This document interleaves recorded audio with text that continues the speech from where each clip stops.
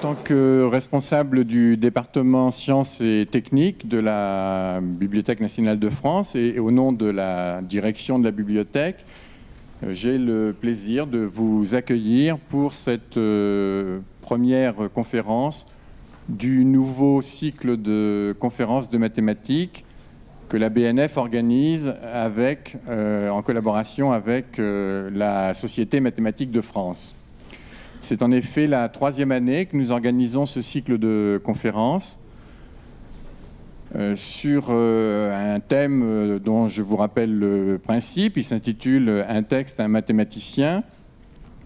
il s'agit pour un, éminent mathématicien comme le conférencier de ce soir de parler d'un texte mathématique qui a, une, qui a eu, qui a une une importance particulière dans sa formation, ses recherches, et euh, de parler de ses prolongements euh, aujourd'hui. je euh, vous rappelle que trois autres conférences suivront cette année, dont le programme et les dates vous sont annoncés dans le, le flyer d'annonce. je crois que la prochaine est le 14 février. Euh, je suis particulièrement heureux de voir de nombreux euh, lycéens parmi vous. Euh, en effet, l'objectif de aussi bien de la Société mathématique de France que de la Bibliothèque nationale de France, c'est de s'adresser à un public large et spécialement aux jeunes. il nous paraît important de montrer l'intérêt et l'actualité des mathématiques, des textes mathématiques, euh, sous un angle euh, un peu différent de, celui de, l'école. Euh.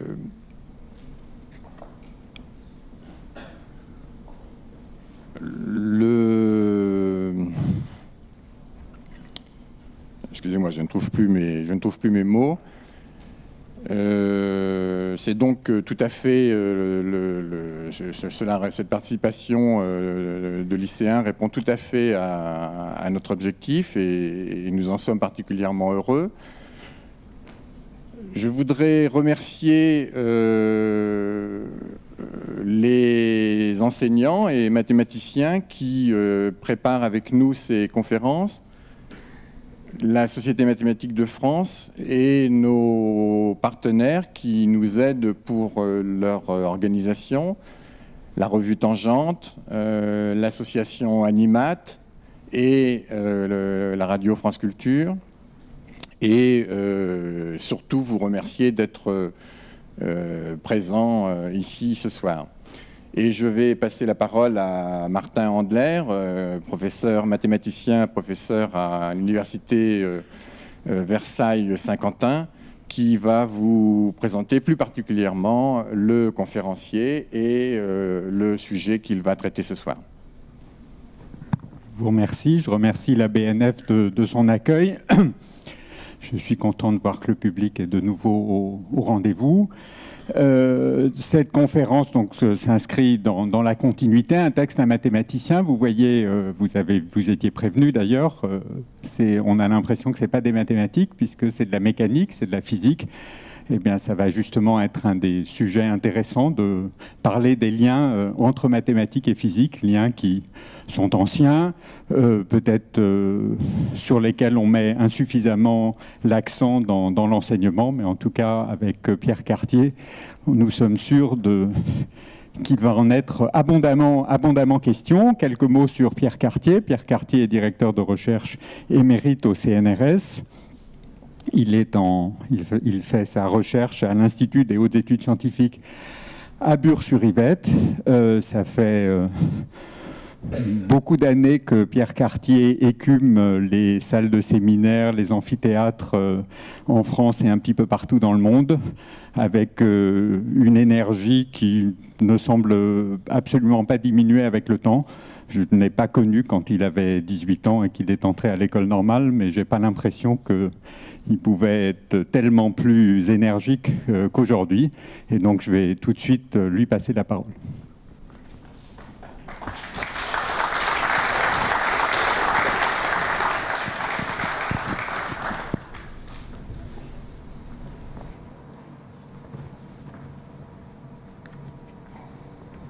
Alors, l'objet de cette conférence, c'est la mécanique analytique de Lagrange. Alors, rassurez-vous, il n'y a pas de faute d'orthographe sur le titre.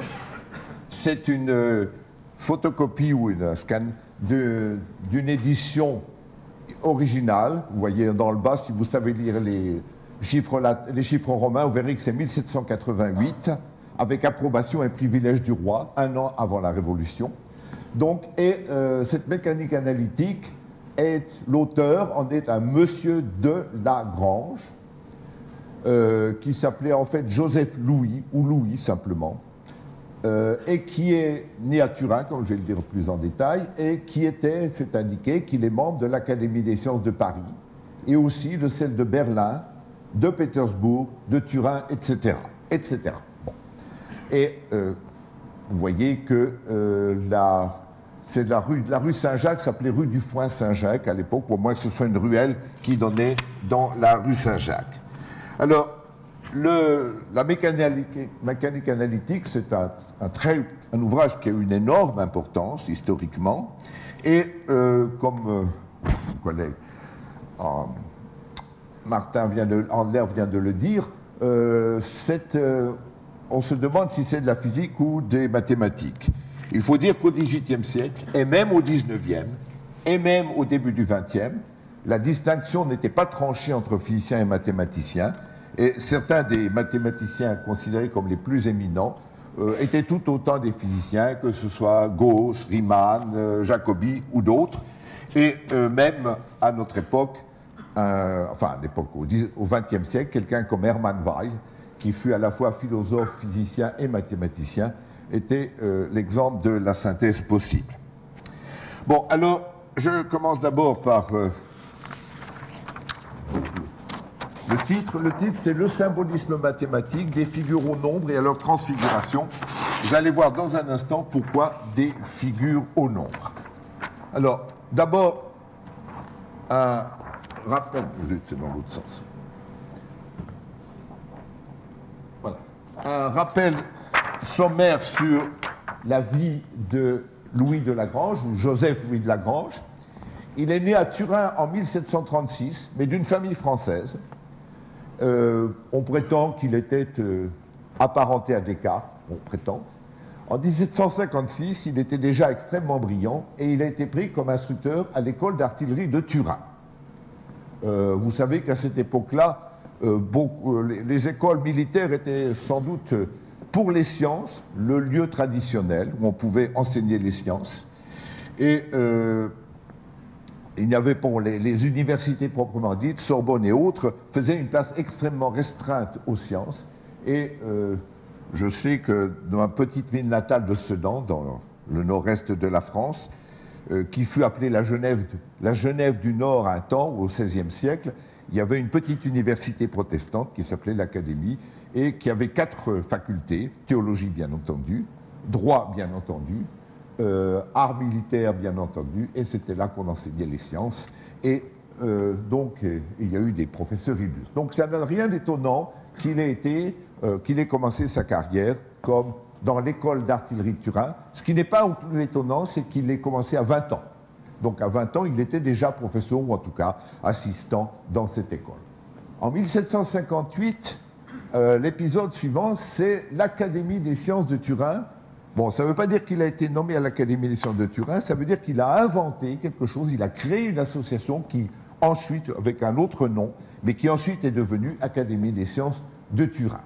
Et le plus important, c'est qu'il a lancé un périodique scientifique qui s'appelait en latin Miscellanea Turinensis, ce qui veut dire euh, mélange de Turin. Et c'est là donc Rappelez-vous, 1758, il a 22 ans. En 1762, c'est là qu'il publie son premier grand travail, je reviendrai tout à l'heure dessus, qui c'est le calcul des variations. Et aujourd'hui encore, dans les fondements du calcul des variations, on parle des équations de l'ère Lagrange. Bon, je ne vous ferai pas aujourd'hui l'histoire du calcul des variations, ce serait une autre conférence tout aussi intéressante, je pense. Mais je continue sa vie. Donc en 1766, à 30 ans, il va à l'Académie de Berlin. À l'époque, le roi Frédéric II de Prusse avait beaucoup fait pour développer sa capitale de Berlin et en particulier pour lui donner un grand éclat et un grand renom euh, littéraire, artistique et scientifique. Et le premier président, euh, le premier président de cette académie était Maupertuis, un Français, et le plus éminent collaborateur de cette académie, c'était Euler. Euler, d'ailleurs, dont on fête cette année le tricentenaire de la naissance. Mais en 1766, le tsar euh, veut faire concurrence à Frédéric II, crée donc une académie à Saint-Pétersbourg. La malheureuse ville de Saint-Pétersbourg a eu beaucoup de noms. À l'époque, elle s'appelait, en tout cas dans les impressions scientifiques savantes, elle s'appelait non pas Saint-Pétersbourg, elle s'appelait Pétropolis, la ville de Pierre en grec. Bon. Pétropolis. Et euh, il y a euh, Euler, il y a des, ouvrages de l'air qui sont signés Pétropolidensis, qui veut dire deux Pétropolis. Bon, vous savez qu'elle a changé de nom un certain nombre de fois, qu'elle s'est appelée Petrograd, qu'elle s'est appelée Stalin, euh, Leningrad et qu'elle est revenue à son nom de Saint-Pétersbourg. Bon, il y reste 20 ans à l'Académie de Berlin et il joue un grand rôle, en particulier avec Maupertuis. Et puis, euh, en. Non, c'est après la mort de Maupertuis, excusez-moi. Et puis, en 1787, euh, le roi de France lui offre, c'est-à-dire Louis XVI, lui offre de participer à l'Académie des sciences de Paris cette fois. Euh, L'Académie des sciences euh, au XVIIIe siècle ne ressemble pas du tout à ce qu'elle est aujourd'hui. Aujourd'hui, c'est un organisme pompeux, sérieux, solennel, etc. À l'époque, c'est à peu près l'équivalent de ce qu'on appelle le CNRS aujourd'hui, c'est-à-dire un centre de recherche actif où les gens sont pris jeunes et où les gens sont censés euh, travailler, je veux dire, pas seulement de manière honorifique, mais euh, faire une recherche effective. C'est une création de Colbert, la, deuxième partie du règne de Louis XIV, et c'est ce qui a permis à la France, de, qui a été le premier, le premier exemple d'Académie des sciences, c'est l'exemple français, et puis ensuite ça s'est développé dans toute l'Europe. En 1780, alors arrive la Révolution française, en 1795, il est professeur à l'école normale, la fameuse école normale de l'an 3, créé par la Convention et qui ne durera que quelques mois. Et puis, presque aussitôt après, en 1797, il est nommé professeur à l'école polytechnique, qui est une des autres créations de la Révolution française. Les deux ont perduré, comme vous savez. Et euh, de 1797 à sa mort, en 1812, il sera professeur à l'école polytechnique. Euh, je dois, à la vérité, que malgré le talent immense qu'il avait, il n'a pas toujours montré la plus grande ouverture, et qu'en particulier un des autres grands scientifiques de l'époque, Joseph Fourier, qui mériterait lui aussi une conférence, et qui ferait d'ailleurs un excellent téléfilm, la vie de Joseph Fourier. Bon, donc euh, Joseph Fourier n'a pu entrer à l'Académie des sciences et faire publier ses travaux mémorables qu'après la mort de Lagrange. Personne n'est parfait. Alors, sous Napoléon, il est couvert d'honneur, il est fait d'abord sénateur, puis compte. Et il meurt, il meurt en 1812, donc il n'a pas eu à se poser des questions délicates de changement de régime en 1815, et où bien d'autres ont eu bien du mal à se situer. Alors,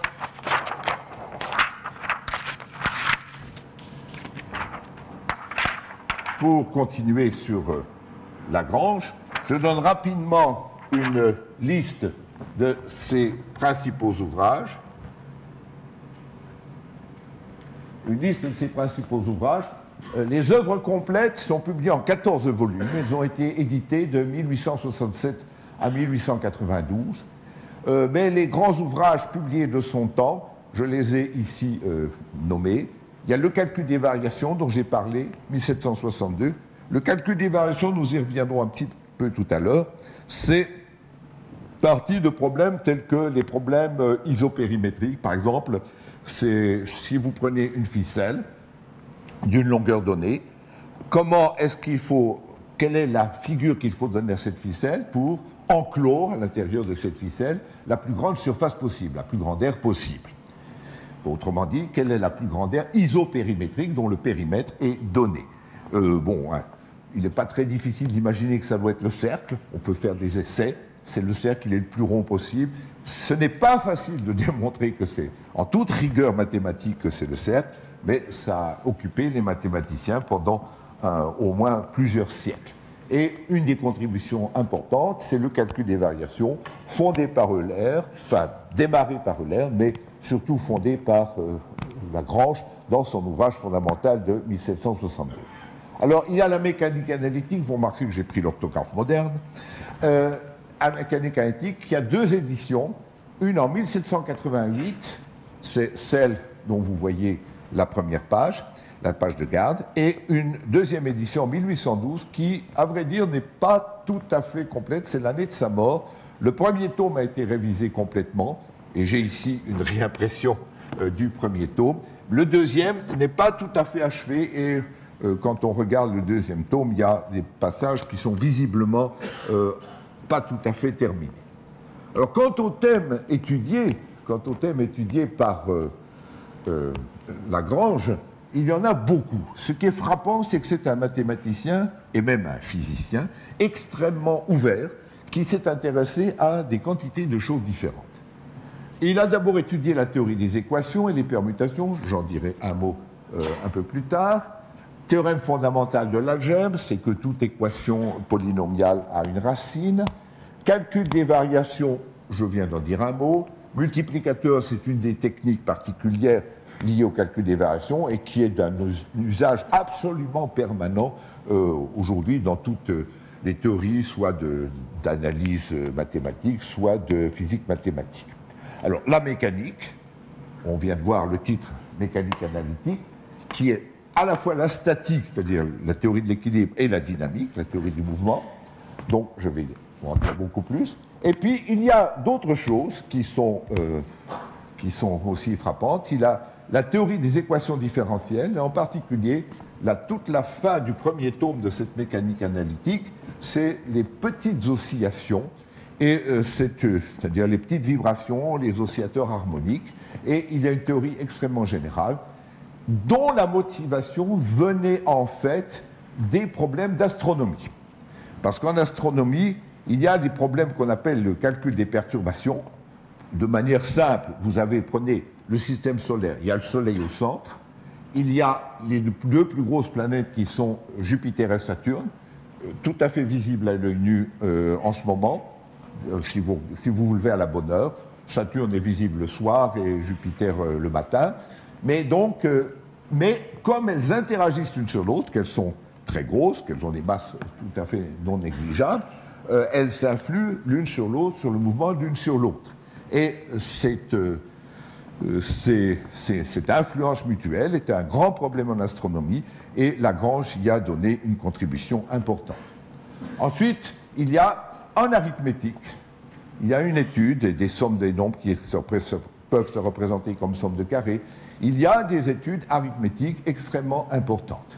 Et c'est assez curieux, cette multiplicité d'intérêts mathématiques de Lagrange fait que, par exemple, j'ai consulté euh, le traité d'histoire des mathématiques, enfin les, éléments d'histoire des mathématiques de Bourbaki. J'ai cherché dans l'index Lagrange et j'ai consulté toutes les pages où il était question de Lagrange.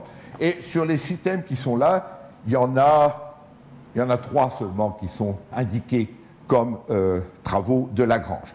Ça suffirait d'ailleurs, même s'il n'avait fait que ces trois-là, qui sont plus liés à l'arithmétique ou à la théorie des équations, ça suffirait à assurer sa gloire de manière permanente. Alors, Maintenant, voilà donc pour les ouvrages de Lagrange. Euh, avant de passer à la mécanique, je voudrais simplement dire, pour montrer qu'il ne s'est pas intéressé qu'à la mécanique, dire quelques mots sur les équations. Et ces travaux sont d'à peu près 1770 sur les équations et la théorie des permutations. Et son successeur immédiat, c'est Galois. Galois dont vous avez entendu parler l'année dernière ou l'année précédente par Alain Cohn. Et Galois s'est énormément inspiré des travaux de Lagrange et il les a développés. Et si aujourd'hui on dit la théorie des équations de Galois, selon Galois, il faudrait dire selon Lagrange et Galois. Alors bon, juste pour donner euh, un petit exemple, il y a ce qu'on appelle les résolvantes de Lagrange.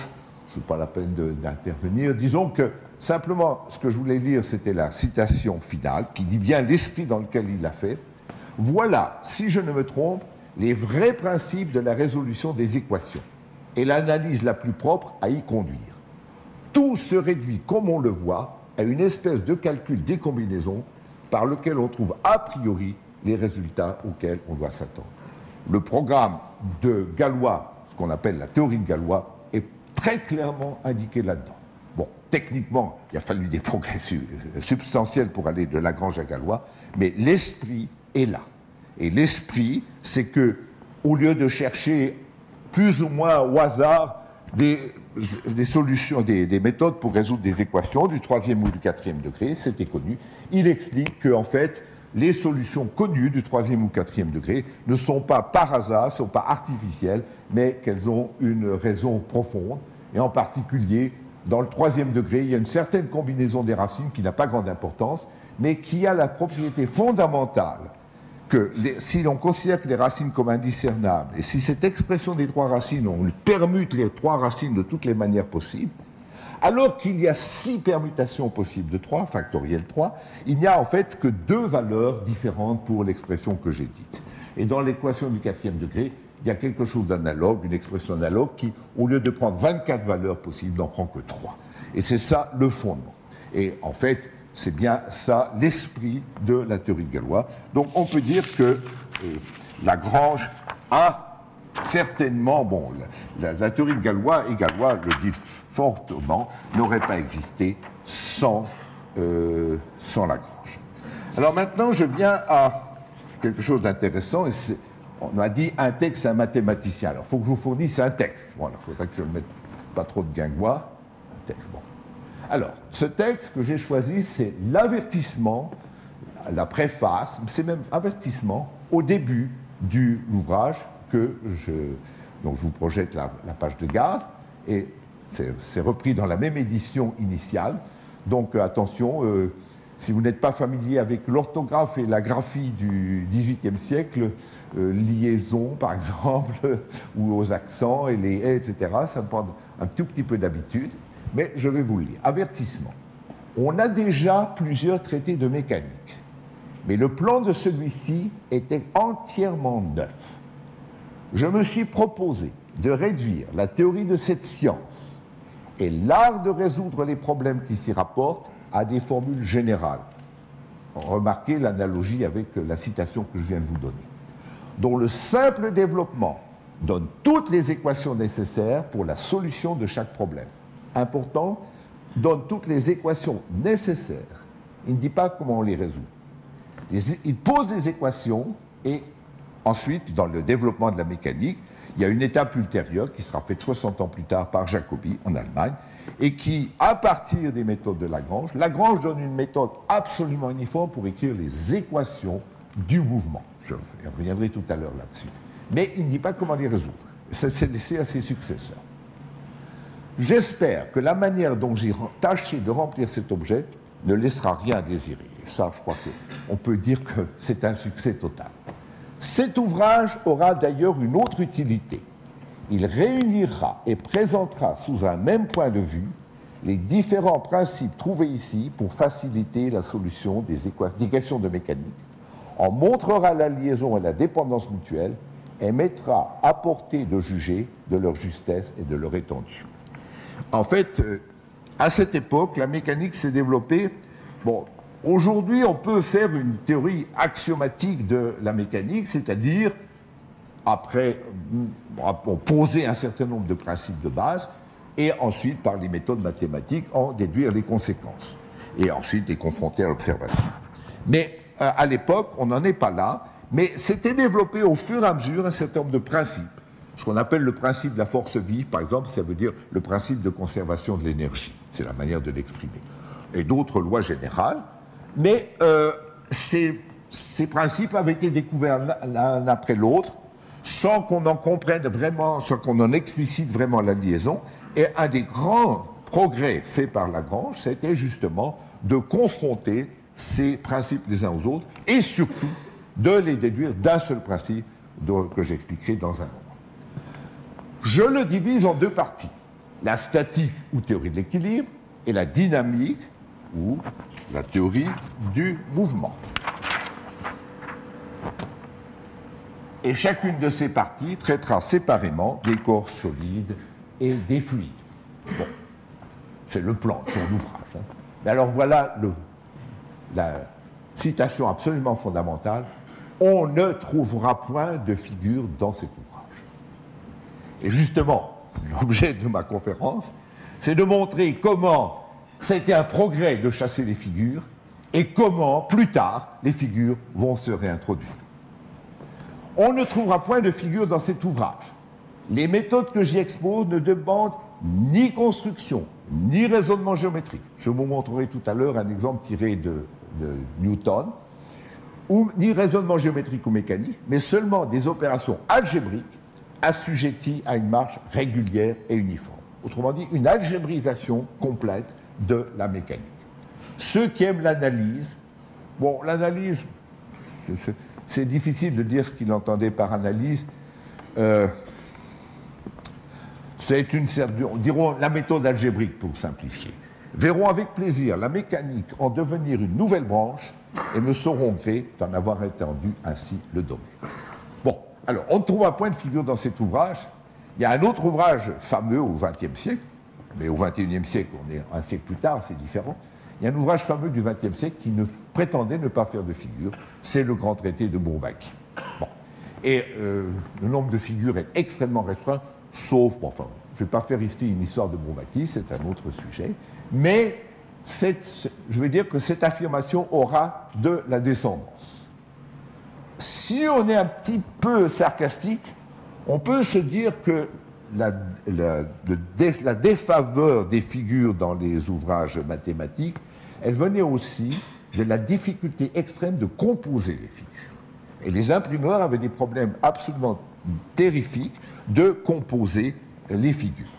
Et c'était devenu de plus en plus cher, et donc en fait, on peut dire que ça rendait service aux imprimeurs. Alors qu'est-ce qui s'est passé de nouveau? Beaucoup de choses.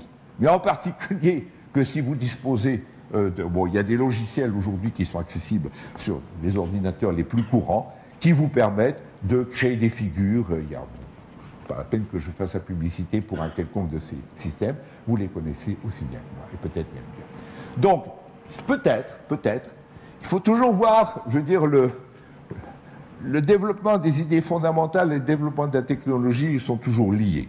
Et j'aime bien de citer Cousteau, le fameux navigateur, qui disait la marine à voile n'est pas morte, elle est provisoirement vaincue par la navigation à vapeur, ou plutôt aujourd'hui la navigation avec des moteurs, mais elle n'est pas morte, et on la reverra. Et d'ailleurs, quiconque suit les courses à travers l'Atlantique, où euh, les catamarans mettent à peu près 7 jours pour traverser l'Atlantique, ce qui est plus court que les paquebots, les derniers paquebots que j'ai pris dans les années 50 pour aller de l'autre côté de l'Atlantique.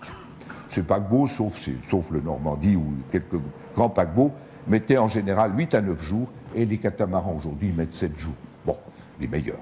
Donc euh, la marine à voile, et je pense qu'effectivement une technologie n'est jamais morte, une idée, une bonne idée n'est jamais morte provisoirement, elle cède la place pour une, devant une autre, mais il ne faut, jamais être trop sectaire il faut se souvenir qu'elle a existé et peut-être se demander si on ne pourrait pas la réutiliser. Donc voilà, puisqu'on vous a promis un texte à mathématicien, je vous ai présenté un mathématicien, Joseph Louis Lagrange, et je vous ai présenté un texte, et je ne garde pour l'instant que on ne trouvera point de figure dans cet ouvrage. Bon, alors, je voudrais maintenant vous dire un petit peu plus sur l'ouvrage lui-même. Sur l'ouvrage lui-même, alors sur l'ouvrage lui-même, j'ai fait la liste des éditions de cette mécanique analytique. Alors, la première édition est de 1788, donc à la veille de la Révolution. En 1812, la deuxième édition, comme je l'ai dit, juste avant sa mort, est en fait inachevée. Puis en 1853, une troisième édition par Joseph Bertrand. Joseph Bertrand est une des grandes figures de la science française à cette époque. Il est spécialiste de, mécanique et aussi de probabilité. Il y a un ouvrage très célèbre de, Joseph Bertrand sur le calcul des probabilités. Puis en 1888, une quatrième édition par Gaston Darboux, une autre grande figure du temps, qui était lui alors plutôt un spécialiste de géométrie, un des grands géomètres de la fin du XIXe siècle. Et enfin, euh, celle sur laquelle j'ai travaillé, C'est une réimpression de 1965, parue aux éditions Albert Blanchard, et qui reprend la troisième et la quatrième édition, c'est-à-dire que la troisième et la quatrième édition avaient ajouté des commentaires et des notes, et l'édition nouvelle reprend l'ensemble de, ces, euh, de ces notes des deux éditions. Alors, maintenant, je voudrais vous donner quelques équations mystiques.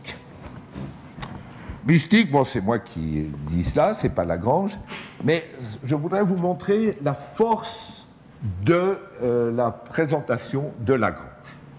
Dans les trois équations que j'ai écrites ici, vous n'êtes pas obligé de comprendre tous les détails.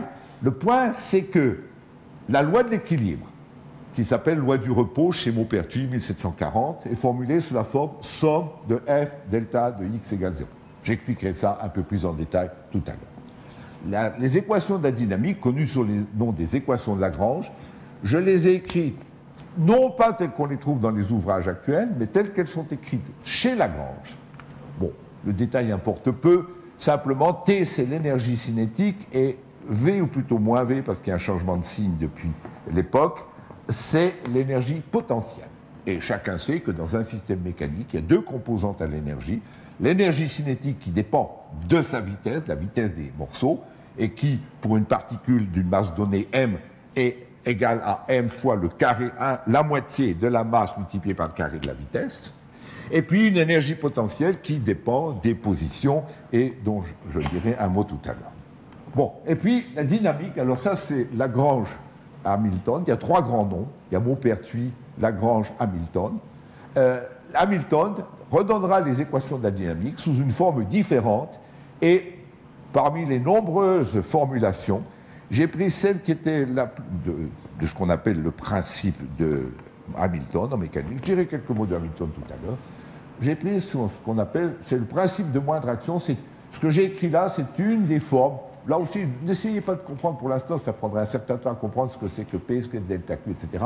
Simplement, ce que je voulais vous montrer, c'est à quel point on peut concentrer toute une science en une, équation extrêmement compacte. C'était ça euh, mon ambition.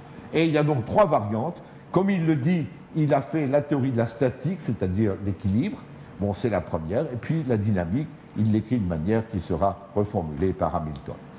Et tout ça, c'est le principe de moindre action qui est, qui est dû à Maupertuis, reformulé de diverses manières. L'idée fondamentale, c'est de formuler toute la mécanique comme conséquence d'un seul principe, d'une seule équation.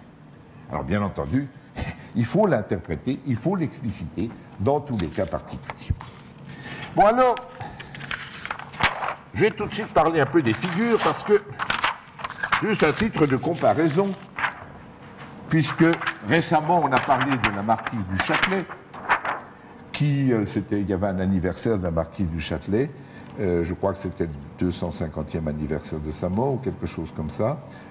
Ceux qui s'y connaissent nous corrigeront tout à l'heure.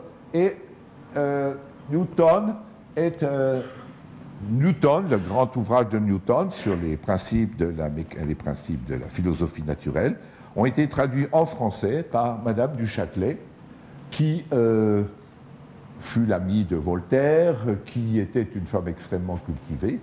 Et voilà, à titre d'exemple, euh, aussi, bon, il y, a un, endroit dans la région parisienne qui s'appelle le château de Breteuil. Euh, les, gens qui, possèdent ce château sont des descendants de cette famille et ils, font, ils font la gloire de Madame du Châtelet comme il se doit. Alors j'ai juste cité dans la traduction de Madame du Châtelet un lemme tiré de Newton, justement pour comprendre les changements de style. Alors d'abord, le lemme est formulé, comme vous voyez, sans aucune formule.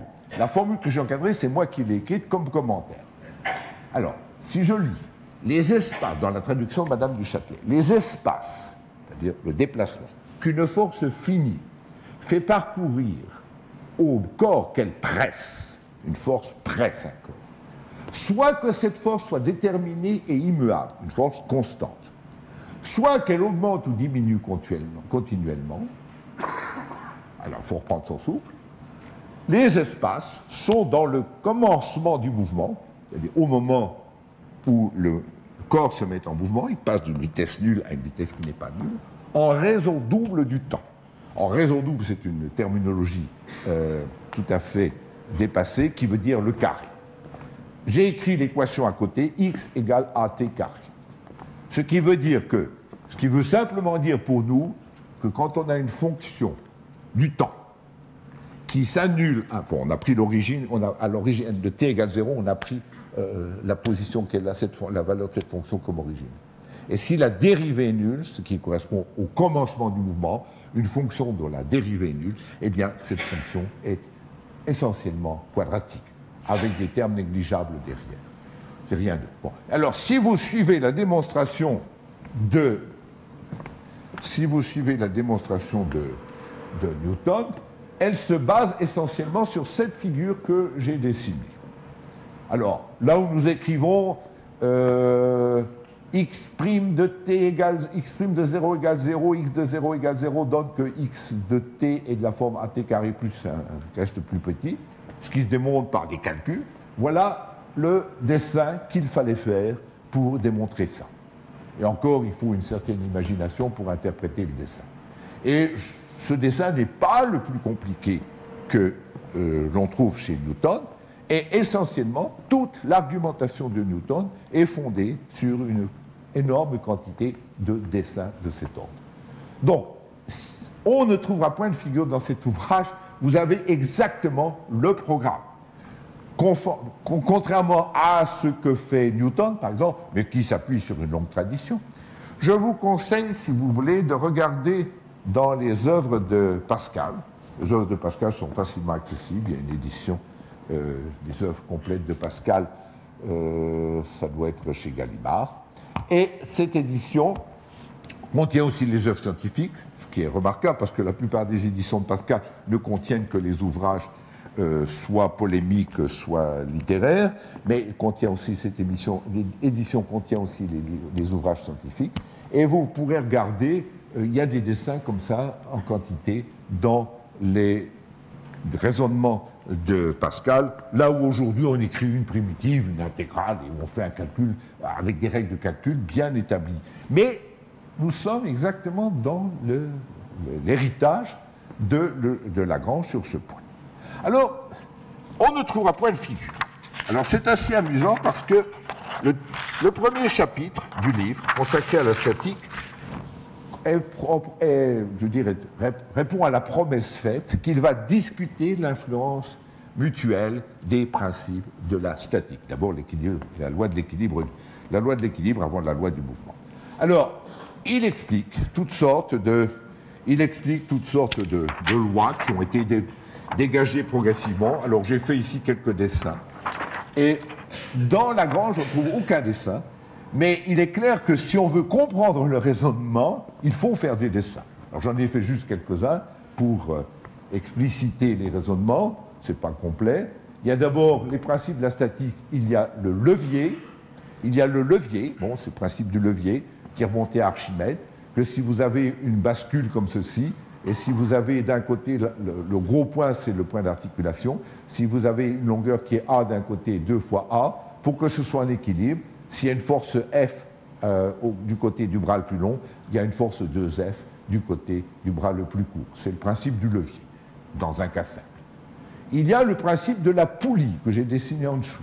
Le principe de la poulie, c'est que si vous avez un câble qui tourne sur une poulie, une poulie qui, qui tourne librement autour d'un axe, eh bien, quand vous tendez le fil, à l'équilibre, la force qui s'exerce à une extrémité est en équilibre si elle est égale à la force qui s'exprime à l'autre extrémité. Bon, vous avez l'équerre. Bon, l'équerre, c'est une variante du levier. C'est une variante du levier. En fait, c'est un levier tordu, une équerre, hein, simplement. Bon, je n'ai pas écrit les forces, mais on voit bien que le petit rond, là, le petit œil, c'est l'axe de rotation, et puis une équerre, et puis bon, on met des forces au debout. C'est tout à fait analogue au levier, mais avec une figure géométrique un peu différente. Et puis vous avez surtout la grande découverte, la grande découverte du palan. Le palan, eh bien le palan, c'est ce qui permettait, euh, par exemple, euh, je ne sais plus, je crois que c'est Archimède qu'on avait mis au défi de, tirer un énorme bateau sur le quai.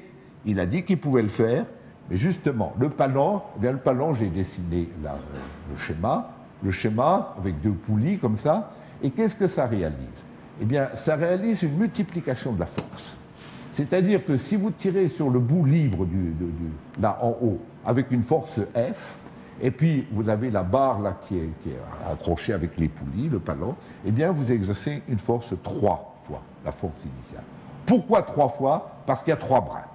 Et s'il y avait plus de brins, s'il y avait cinq brins, six brins, sept brins, eh bien à chaque fois la force se multiplierait. Donc le palon, c'est un, outil extrêmement astucieux qui permet, en tirant sur une corde avec une force modérée, d'exercer au bout une force beaucoup plus importante. Mais quel est le prix à payer? C'est ça qui est important. Le prix à payer, et ça la figure géométrique le montre très bien, c'est que si vous déplacez l'extrémité du petit f, disons de 10 cm, d'un mètre, eh bien, un mètre, vous avez, tiré un mètre sur la corde, qu'est-ce qui s'est passé? Comme il y a trois brins, vous verrez que l'autre extrémité, depuis le palan jusqu'à l'autre extrémité, là où j'ai appliqué l'autre force, va se rapprocher de un tiers de la distance. Donc, j'ai d'un côté une force qui est triple, mais d'un autre côté, j'ai une distance qui est divisée par 3. Et c'est exactement comme dans le levier, et ça montre bien que ce qui est important, ça n'est ni la force ni la longueur, c'est le produit de la force par la longueur. C'est ce qu'on appelle le travail. Bon, alors ça, ce sont des expressions Bon, alors je ne vais pas vous faire une théorie du travail dans tous les détails, et dans l'ouvrage de Lagrange, il y en a pour 30 pages à expliquer comment tous les principes admis, levier, palan, etc., se ramènent à un seul. Se ramènent à un seul, et en fait, ça veut dire que il faut. Comment est-ce qu'on mesure le travail fait dans un déplacement Eh bien, par des renvois de poulies, de courroies, etc., on s'arrange pour que la seule chose qui soit mobile, ce soit un contrepoids à un endroit donné. Il y a un contrepoids qui tient en équilibre une machine compliquée avec des engrenages, des piscycloïdes, etc. Et comment est-ce qu'on mesure?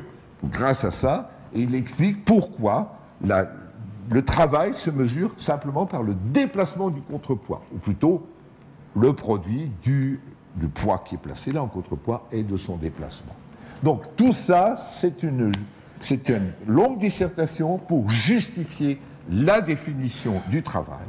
Et dans ce que je vous ai présenté tout à l'heure, où est-ce se trouve euh,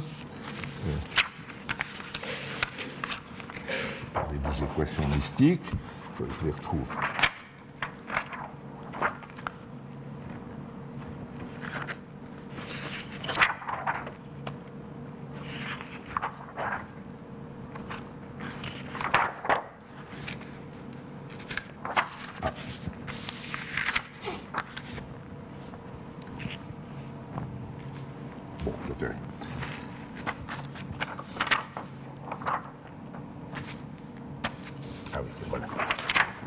Les équations mystiques que je vous ai formulées, la loi de l'équilibre, c'est la loi du repos.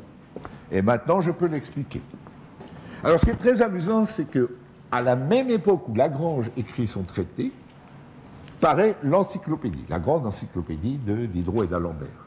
Et un des points forts idéologiquement de l'encyclopédie de d'Alembert et de Diderot, c'est la présence des figures, des tables. Les, les, les tables, de la, quand on a une, édition du XVIIIe siècle de l'encyclopédie, de la grande encyclopédie, les tables sont une merveille. Elles ont été travaillées extrêmement soigneusement. Or, justement, ce que voulaient démontrer les encyclopédistes, c'était l'importance des dessins. Et comme leur encyclopédie a pour but de diffuser un certain savoir, et un savoir universel, à juste titre, ils disent les schémas, les croquis sont le meilleur moyen de diffuser ce savoir-faire. Donc, voyez qu'il y a une opposition complète, alors que je ne pense pas du tout que Lagrange, bon, Lagrange a été, non, je ne dirais pas qu'il était, bon, il ne s'est pas beaucoup mêlé aux événements politiques, mais enfin, il a quand même participé à la création de l'école normale de l'endroit, l'école polytechnique, il a été un serviteur de Napoléon. Je veux dire, il a participé, il avait une position déjà éminente dans la société française et il a continué à en avoir une. Mais ça n'a pas été, je ne pense pas qu'il s'est jamais beaucoup engagé derrière un parti. Et il a eu d'autres scientifiques qui ont fait comme lui, la place encore mieux. Bon, donc ici, qu'est-ce que ça veut dire Somme de f delta de x, c'est Alors il faut comprendre delta de x, le petit delta veut dire un petit déplacement. Ce qui veut dire que dans une figure compliquée où il y a des poulies, des câbles, des, engrenages, etc., delta x, c'est la possibilité pour euh, un point de se déplacer un petit peu. Alors le delta veut dire petit. Par exemple, disons que on a une configuration avec des engrenages, des poulies, des, courroies, et qu'on permet, disons, de déplacer d'un centième. Il y a des parties mobiles, et on permet de les déplacer d'un centième au maximum. Et quand j'écris les sommes de f de delta x, ça veut dire que pour chacun des points qui peut être mobile, je considère son petit déplacement, delta x, je multiplie par la force correspondante. Alors bon, la force correspondante, la seule, ce qui travaille, c'est celle dans une force, on la décompose en une première force qui est dans la direction du déplacement, une force perpendiculaire. La composante perpendiculaire ne joue pas, elle ne travaille pas. Autrement dit, quand j'écris x, c'est au, sens du calcul vectoriel, c'est un produit scalaire de vecteurs. Bon, somme f égale 0. Ça veut dire que si on essaye de bouger un tout petit peu, disons d'un centième, les diverses parties mobiles, en respectant les liaisons, c'est absolument fondamental. Si euh, on, a une, barre et les deux extrémités, eh bien, on ne change pas la longueur de la barre on la déplace un peu, on la tourne un peu, mais on ne l'allonge pas, on ne la rétrécit pas. Eh bien, somme de del égale 0, ce qui n'est pas tout à fait 0, ça veut dire que le travail qu'on produit par cela est d'un ordre beaucoup plus petit. Par exemple, si vous avez fait un déplacement de l'ordre du centième, le travail sera de l'ordre du carré d'un centième, c'est-à-dire du dix millième. Et un dix millième devant un centième, ça ne compte pas beaucoup. C'est ça le sens de cette équation. Alors, c'est Aujourd'hui, on le formule un petit peu différemment dans des exemples simples. Euh, pourquoi, pourquoi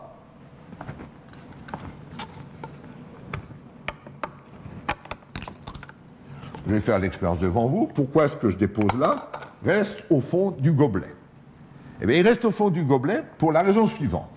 C'est que, sous l'influence de la pesanteur, il faut, ce que dit la pesanteur, c'est que si un corps n'est pas gêné qu'on le laisse, il tombe. D'accord. Et s'il est gêné, s'il est gêné, dans l'autre sens, ça veut dire que pour compenser cette euh, chute, cette tendance à la chute, si je veux le soulever, c'est-à-dire, disons, l'élever de ici à là, disons d'un mètre à peu près, il faut fournir un certain travail. Il faut un travail pour lever. Par, quand on le laisse tomber tout seul, il fournit du travail, on peut s'en servir. Une, chute d'eau peut être, on peut exploiter l'énergie fournie par une chute d'eau. Par contre, pour remonter un ascenseur, il faut un moteur. Donc, alors pourquoi est-ce que ça reste ici? À cause de la. Mon, mon, mon, petit bouchon de, plastique, il est contraint. Il est contraint parce que je l'ai mis à l'intérieur de mon verre et que le verre, on ne peut pas franchir la paroi du verre. Elle est là. Donc, la seule possibilité que j'ai pour changer la configuration, c'est de remonter, puisque je suis déjà au bas de mon verre, la seule possibilité, c'est de le remonter un peu. Mais si je le remonte, c'est par petit delta x, il faut garder l'essence des forces, etc. Eh bien, ce que j'aurai à faire, c'est que j'aurai un f delta x, c'est-à-dire le travail que j'ai à fournir n'est pas nul. Et autrement dit, on le traduit plus simplement aujourd'hui en disant que ah, n'importe quel corps placé dans le champ de la pesanteur jouit d'une énergie potentielle, une énergie qui ne demande qu'à s'exprimer, c'est ça le sens de potentiel, et que quand vous changez, de, si vous remontez d'une certaine hauteur h un certain corps, eh bien, il y a un travail pour faire ça, qui est, c'est-à-dire un changement d'énergie potentielle, qui, toute chose étant égale, est proportionnel à la hauteur. Et donc, si la contrainte que vous avez dit que on ne peut la hauteur, on ne peut le déplacer que dans le sens vertical contre la force d'attraction.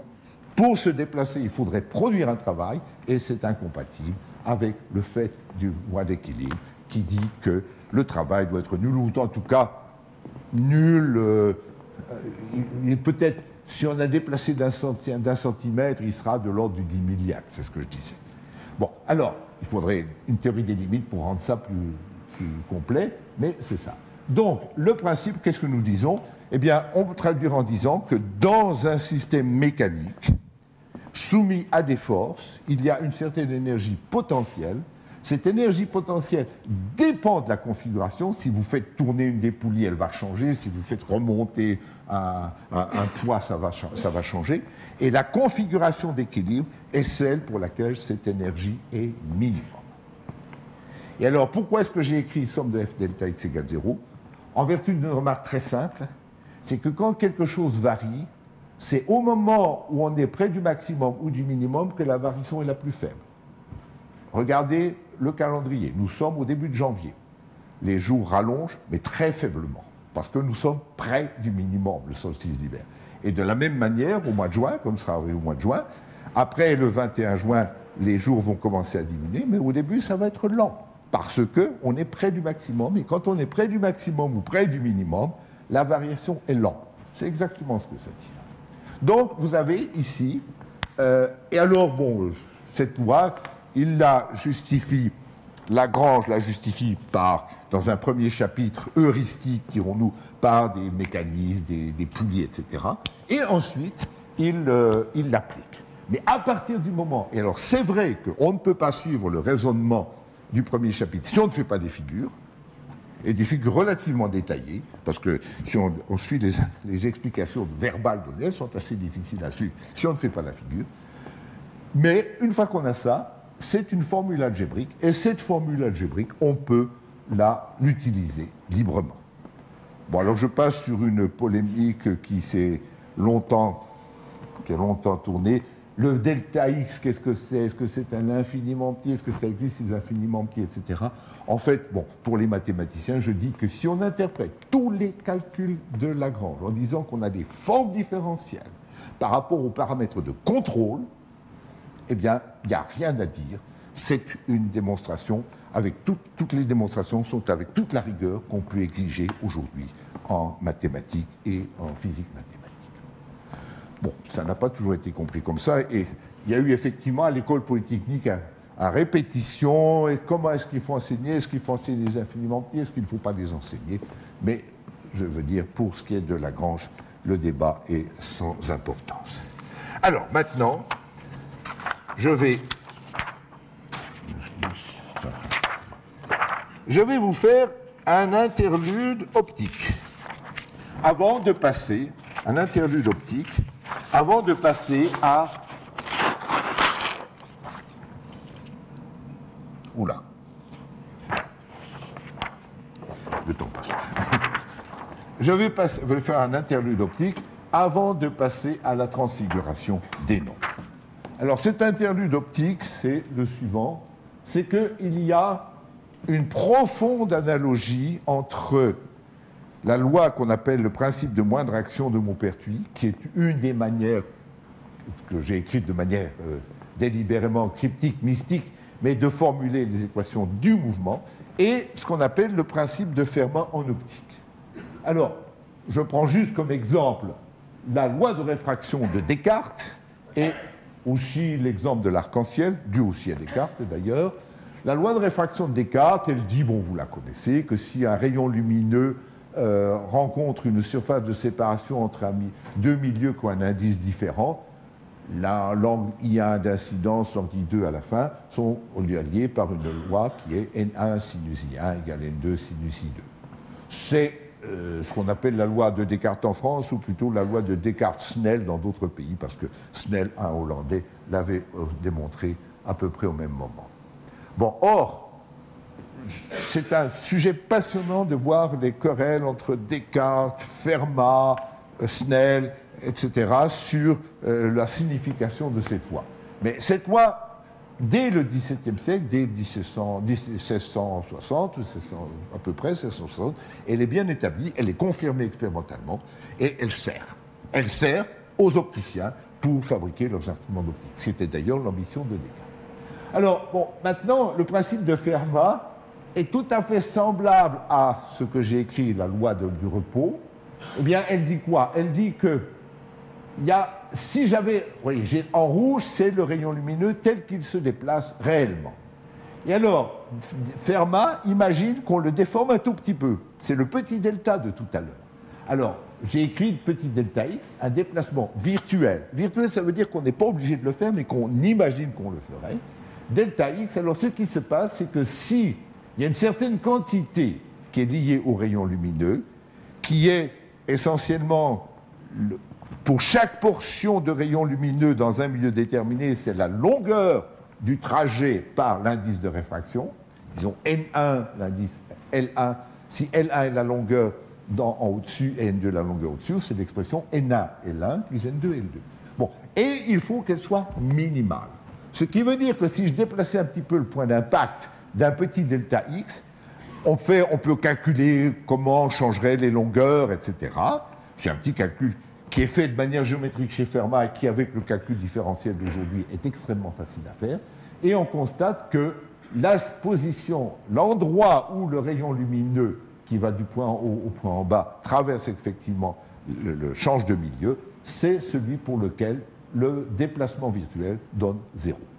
Alors on sait n'est plus f delta x, c'est quelque chose d'un peu plus compliqué, mais c'est exactement le même principe. Et alors ce que je dis aussi, c'est que l'arc-en-ciel, bon j'ai dit simplement l'arc-en-ciel, vous voyez, l'arc-en-ciel c'est une petite goutte d'eau. Euh, supposons que les rayons lumineux arrivent de la droite, et puis ils se réfléchissent. Et alors ce qu'il y a, c'est que l'angle étant donné, je veux dire les deux directions étant données, la hauteur, la les, deux rayons, bon, il y a, d'abord le trajet qui passe par le centre de la goutte, et puis les rayons lumineux s'en écartent un peu. Ils s'en écartent de la même distance des, deux côtés. Et le problème, c'est de trouver une relation entre l'angle des l'angle de réfraction, là, le θ, l'indice de réfraction de la gouttelette et la distance. Il y a une certaine expression compliquée, enfin une certaine expression, et qui va dire quoi? Eh bien, puisque, suivant la couleur, un milieu optique tel qu'une gouttelette d'eau réagit à, des, à, des, à, des, à la lumière de couleurs différentes comme si elle avait un indice différent. Donc l'indice dépend de la couleur. Et ce qui se passe, c'est que la loi qu'il faut trouver, c'est comment cette petite distance D varie en fonction de l'angle et de l'indice c'est-à-dire en fonction de l'angle et de la couleur. Et si à la sortie on a les figures de l'arc-en-ciel avec toutes les couleurs étalées, c'est à cause de ça. Il faut écrire cette relation, c'est ce que fait Descartes. Et euh, aujourd'hui, une des manières, de le faire, c'est dans tous les ouvrages optiques maintenant, c'est de décrire quelque chose qu'on appelle le retard optique, une certaine expression qui est le retard optique, qui en gros, bon, le, le, rayon lumineux en traversant la goutte d'eau, il est retardé, bon, il, perd du temps, c'est en gros ça. Et la notion de retard optique, en se servant du principe de Fermat, ce retard optique qui dépend de l'indice de réfraction et de l'angle θ, eh bien, il faut la petite d, c'est l'endroit qui sert à le minimiser. Donc, si on connaît ce retard r de θ de n, on peut déduire la distance d en fonction des θ de n. Je ne vais pas vous faire les équations, mais c'est dans le même esprit que le principe de Lagrange, le principe de Lagrange pour l'équilibre, et c'est le principe de Fermat. Donc voilà un interlude optique. Alors maintenant, je vais passer à la. Alors je vais rapidement vous présenter euh, ce qui est la transfiguration moderne. Alors d'abord, je vous fais un petit tableau synoptique. Un petit tableau synoptique qu'on pourra garder en tête, là, comme ça, c'est-à-dire je vous peu là. C'est rapidement une histoire de l'algèbre au XIXe siècle, divers acteurs de l'algèbre au XIXe siècle, et ce qui va dans le sens de l'algébrisation. Quel est le, qu'est-ce qui, quel est le moteur de ce développement? C'est que si l'on a remplacé les dessins par des calculs. Ces calculs, c'est dans le même sens, ça va dans le sens où Descartes avait inventé le calcul des coordonnées. Mais ce calcul des coordonnées, il est souvent, si on le manipule avec un peu de maladresse, il est lourd, compliqué. Il ne reflète pas vraiment la vérité géométrique. Et tout l'effort du 19e siècle, et j'ai cité ici Hamilton, Kelly, Grafman, Boole, euh, Möbius et Ricci, Levi-Civita, ça consiste à inventer des formalismes algébriques qui sont de plus en plus proches de l'intuition géométrique. Alors, la forme, par exemple, bon, je cite juste, quaternion et vecteur, on verra tout à l'heure, quaternion et vecteur, c'est une manière de traduire, euh, chez Hamilton, de traduire la géométrie des rotations dans, notre espace à trois dimensions. Les, quelles est ces matrices et déterminants? Je vais dire un mot des matrices. Déterminants, bon, on en a entendu parler. Grassmann, c'est un calcul de l'extension basé sur une loi extraordinairement bizarre à première vue. Alpha bêta égale moins bêta alpha. On est habitué à ce qu'alpha bêta égale bêta alpha. Avec les quaternions, on, ça n'était plus vrai, mais moins. Or, ça, c'est le point de départ d'un immense développement du XXe siècle, qui est euh, la mécanique quantique et toutes les formulations mathématiques liées à ça. Boule et veine, bon, c'est des fameux diagrammes de veine où on représente des intersections comme ça. Et Boule et veine invente une algèbre de la logique qu'il veut la plus adaptée au form... Il veut un formalisme logique, un formalisme algébrique qui rende au mieux du raisonnement logique, la force du raisonnement logique. Et puis bon, il y a Möbius, c'est le calcul barycentrique, c'est une manière de fabriquer des coordonnées dans, le plan dépendant de la théorie des barycentres. C'est très utile et ça a été, euh, c'est le point de départ de beaucoup de choses. Et puis, il y a dans un autre ordre ce qu'on appelle le calcul différentiel absolu, le calcul tensoriel de Ricci et de Vichy-Vita, qui est un, un, outil absolument fondamental dans la géométrie moderne. Bon, alors au XXe siècle, tout ça, ça s'appelle algèbre linéaire et multilinéaire. Ça paraît bon, on a un petit peu perdu le sens de l'origine, mais alors maintenant, je vais vous dire rapidement, alors bon, rapidement, euh, nombre géométrique. Alors, nombre géométrique, c'est, bon, tous ceux qui ont une introduction nombre complexe savent que les nombres complexes, c'est un outil qui peut servir pour décrire la géométrie du plan. Et bon, alors je vous rappelle rapidement, mais simplement, le point essentiel, c'est qu'on a on introduit un symbole nouveau, i, dont la seule vertu, c'est que i carré égale moins 1. Et comment est-ce qu'on calcule avec? Eh On calcule comme si c'était quelque chose de, variable, c'est une variable. Puis quand on tombe sur i carré, on le remplace par moins 1. Quand on tombe sur i au cube, i, cube, c'est i carré par i, donc c'est moins 1 par i, c'est moins i, etc. Bon. Et puis, géométriquement, on sait le traduire. L'addition des nombres complexes correspond à une translation dans le plan, la multiplication correspond à des similitudes ou en particulier des rotations. Donc, et puis il y a la formule mystique cosinus θ plus i sinus θ égalé puissance i θ qui vous dispense de, vous rappeler des formules compliquées de la trigonométrie. Tout ça devient très simple. Ça contient la trigonométrie, l'électricité, etc. Une autre formule mystique. Bon, alors, simplement, ça, c'est des nombres qui, en fait, n'ont pas été inventés pour ça, mais dont une des vertus, c'est de permettre de traiter la géométrie du plan assez simplement. Alors, Hamilton, qu'on a déjà vu, Hamilton, bon, c'est. Euh, je dis juste que Hamilton, c'était un Irlandais. Il a fait toute sa carrière à Dublin.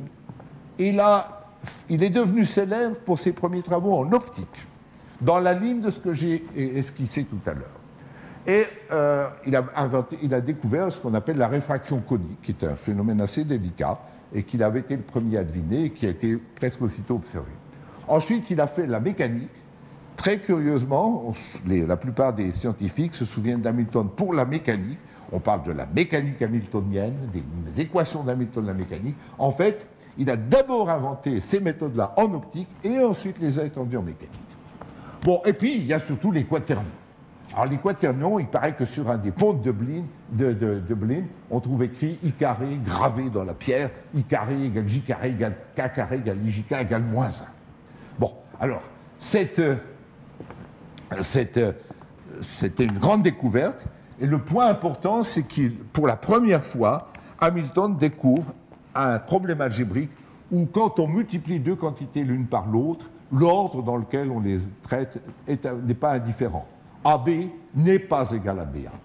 Il est égal, dans certains cas, à moins BA, etc. Simplement, je dis en deux mots que un quaternion, c'est en fait obtenu en considérant d'un côté un certain nombre S, qu'on appelle sa partie scalaire, et un vecteur dans l'espace à trois dimensions, S et V. Eh bien, dans la géométrie des vecteurs, on sait qu'on dispose d'un produit scalaire, le produit scalaire de deux vecteurs qui joue d'ailleurs dans la définition du travail au moyen des forces. Puis il y a aussi le produit vectoriel. Ça, c'est tous les cours euh, de physique élémentaire euh, sont obligés d'introduire ces outils mathématiques, même si les mathématiciens ne veulent pas les enseigner dans leurs cours. Ça arrive, ça. Bon, alors, il y a deux sommes. Et en fait, si nous disons le produit scalaire ou le produit vectoriel, c'est que Hamilton avait un, un, produit unique. Quand je prends un, nombre S plus un vecteur V, j'appelle ça un quaternion, j'en prends un autre, je les multiplie entre eux, et je récupère comme produit une partie scalaire et une partie vectorielle. Eh bien, le produit scalaire et le produit vectoriel, tels que nous les connaissons, ne sont que la partie scalaire et la partie vectorielle d'un produit, d'un objet un peu plus compliqué, quaternion.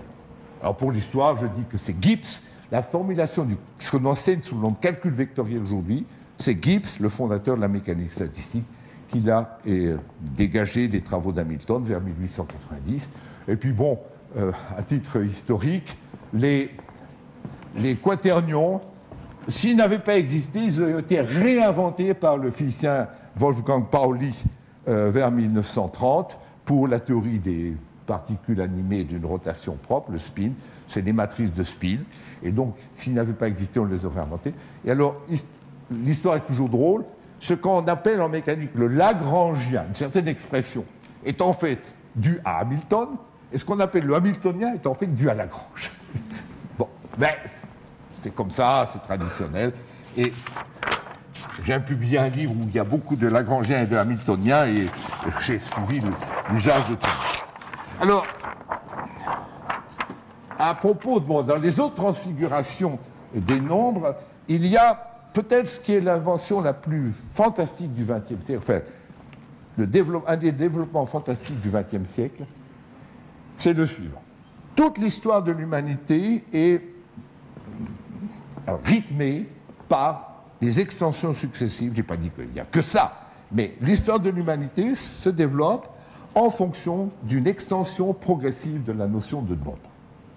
Or, aujourd'hui, depuis le XXe siècle, il y a quelque chose qui s'appelle les matrices, qui est devenu un outil absolument fondamental et les matrices, c'est quelque chose de très très général.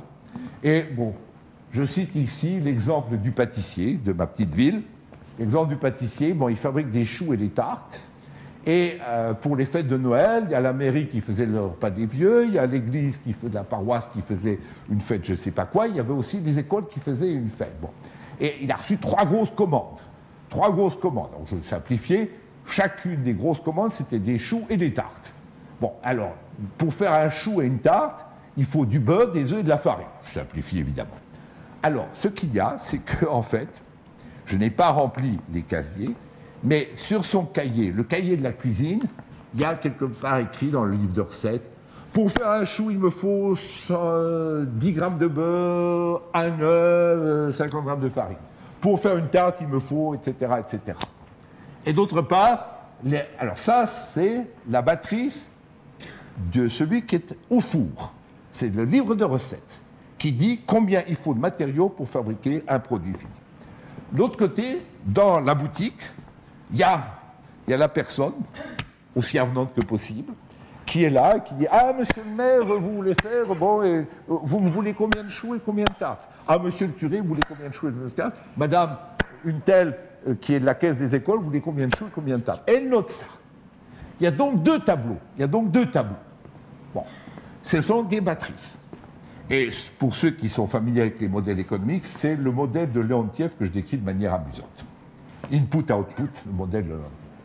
Et alors maintenant, il va y avoir, il faut, va falloir faire quelque chose avec ça. Il va falloir quelque chose avec ça. Bon, comme il y a trois grosses commandes, le pâtissier a trois aides. Il dit au premier, tu feras la première commande, au deuxième, tu feras la deuxième commande, au troisième, tu feras la troisième commande.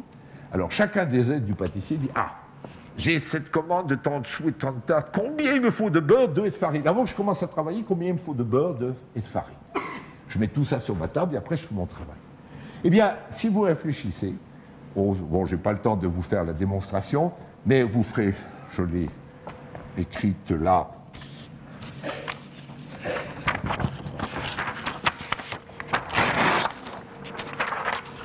Je l'ai écrite là, bon, enfin, c'est simple. 20, 20, 20 choux, 30 tartes, un chou a besoin d'un œuf, une tarte a besoin de trois œufs.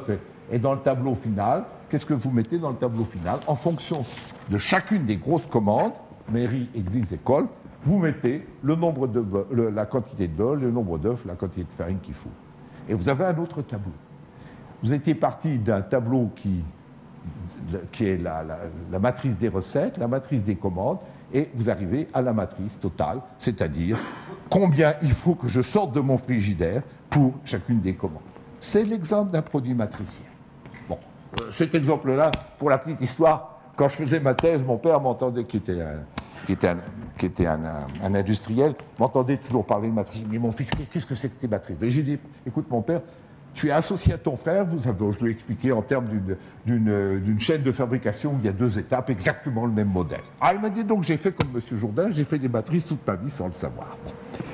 Eh bien, le pâtissier aussi fait des matrices toute sa vie sans le savoir. Bon, alors, on peut multiplier les exemples. Quand vous avez un transformateur, un transformateur, il y avait voltage et intensité d'un côté, voltage et intensité de l'autre.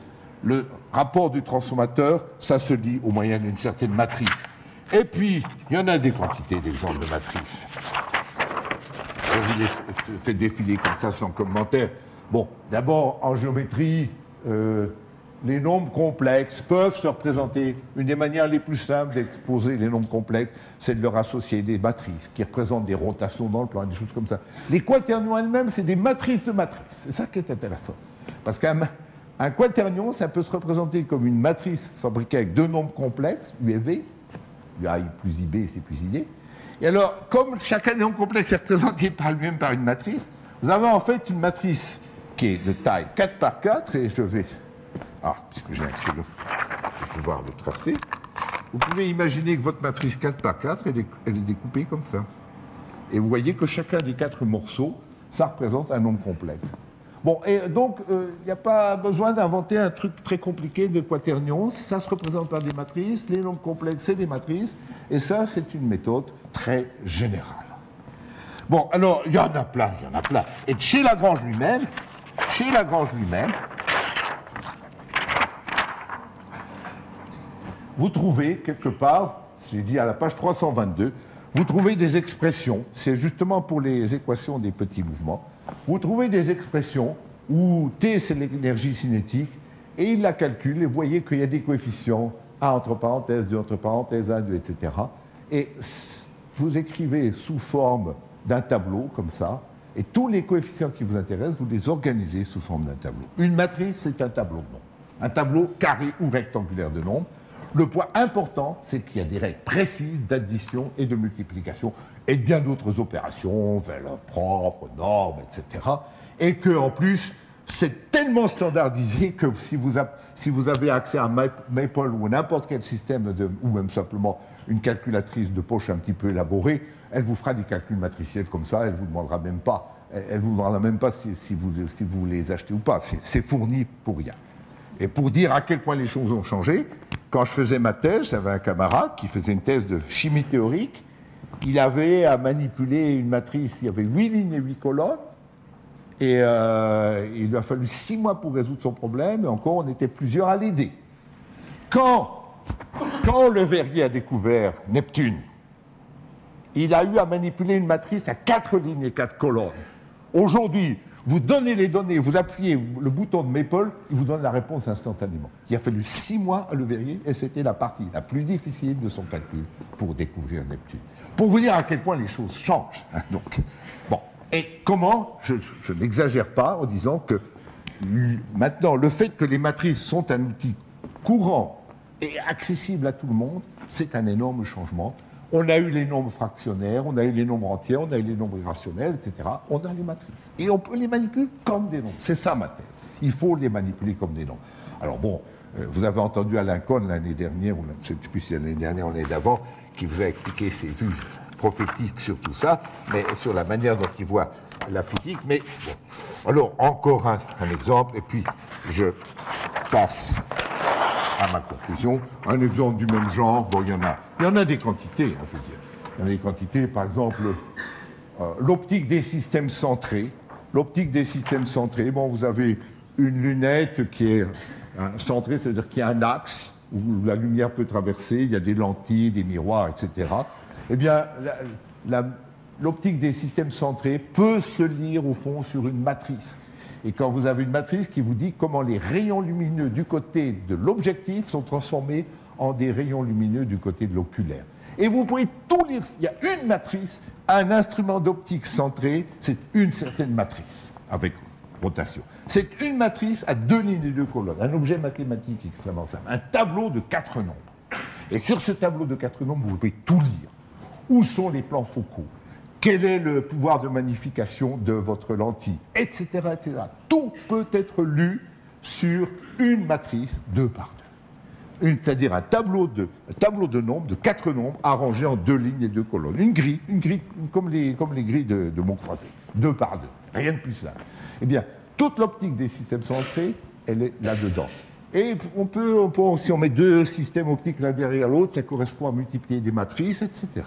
Bon. Alors, vous voyez la richesse de cette notion de matrice. Et c'est, en fait, c'est là. Elle est tellement universelle qu'elle contient toutes, les autres extensions que j'avais mentionnées. Alors, pour terminer, je vais dire une chose qui est un peu différente. Jusqu'à présent, plus que trois pages, je pourrais m'arrêter. Euh, jusqu'à présent, on a vu qu'on a inventé des nombres qui sont destinés à représenter la réalité géométrique aussi fidèlement que possible. Donc ce sont des formes compactes, condensées d'exprimer de la géométrie. Une matrice, ça contient une information absolument prodigieuse et qui, en fait, décrypte une, quand elle est bien, plutôt quand elle est bien décryptée, elle contient un contenu géométrique important. Alors, ce qu'il y a, c'est que je vais maintenant vous donner rapidement quelques exemples d'un autre type de transfiguration des nombres. Eh bien, là, c'est le retour des figures, c'est-à-dire qu'on n'invente pas des nombres qui, sont, qui remplacent des figures de plus en plus sophistiquées, de plus en plus adaptées. C'est les figures elles-mêmes qui vont être l'objet d'un calcul algébrique. Les figures sont des nombres.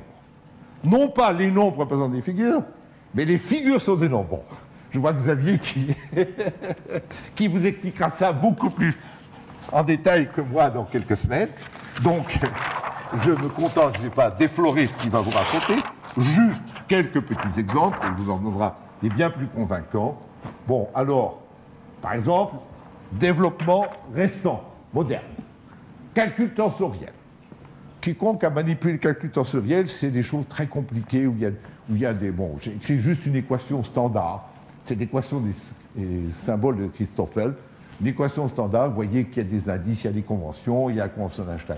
Et on a intérêt, il y a un mode de représentation graphique qui, au lieu d'écrire toutes ces équations compliquées, fait des ronds. Le gamma, le grand gamma qui a trois indices, ça se présente par une boule avec trois flèches qui sortent. Le G qui a deux indices, c'est une, boule avec deux flèches qui sortent. Euh, quand il y a un indice répété, on fait des liens, etc. Bon, voilà un exemple de, méthode de calcul extrêmement générale en mécanique, en relativité générale, euh, en physique mathématique mais chapelles, et c'est le calcul tensoriel, mais en géométrie proprement dit. On peut le représenter comme ça. Un autre exemple. Alors, il y a mon ami euh, Jean-Louis Laudet, qui écrivait un article là-dessus en anglais, a fait la, plaisanterie d'appeler ça l'arithmétrie. Tri en anglais, c'est arbre, et arithmétique des arbres, c'est ça, arithmétique des arbres, arithmétrie. Et il, euh, c'est tout un calcul où on parle, les objets qu'on considère, ce sont des arbres. Et parmi les opérations qu'on peut faire sur les arbres, il y a la bouture. La bouture, je l'ai représentée, Bon, mes arbres, ils sont la tête en bas. Mais enfin, ça, les mathématiciens présentent souvent les arbres la tête en bas, j'y peux rien. Euh, je précise aussi que ce que nous appelons en mathématiciens un arbre, euh, il ne faut pas aller au Brésil. Hein. parce que quiconque a vu des forêts de bagnans, c'est qu'il y a des cycles partout, que les racines se regroupent, etc. Et les arbres des mathématiciens n'ont pas de cycle. Bon, alors un arbre comme ça, j'ai représenté la partie verte, et puis il y a la partie rouge. Et la bouture, qu'est-ce que ça consiste? Ben, Ça consiste à rajouter, à abouter la partie rouge verticale de, la partie rouge avec, à la relier, à la coudre. On peut appeler ça suture, couture, tout ce qu'on veut. Bon, alors, voilà un exemple. Et rapidement encore, alors deux, autres exemples.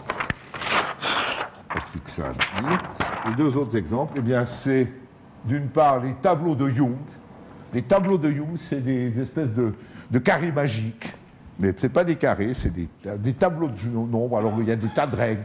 Par exemple, celui que j'ai rempli 1, 2, 5, 8, 3, 6, 7, 1, 2, 3, 4, vous vérifierez que si je vais de gauche à droite sur une ligne, ça va toujours en montant. 1, plus petit que 2, plus petit que 5, plus petit que 8, 3, plus petit que 6, plus petit que 7, 4. Et verticalement, ça croît en descendant. Bon, alors on les compte, on les combine. Les tableaux de Jung, et c'est un. Bon, j'ai cité mon ami Xavier, là, qui vous en parlera dans quelques temps, je pense. Je pense qu'il t'en parlera, hein, des tableaux de Jung. Non? Bon, enfin, on verra. Plein d'autres choses. donc, il y a les, les tableaux de Jung, c'est un outil absolument fondamental. Et le point, c'est que ce sont des tableaux et qu'on raisonne sur les tableaux. Ce sont des figures. Mais il y a des figures encore plus. On les compte et les combine. La physique nous a amené à ce qu'on appelle les diagrammes de Feynman.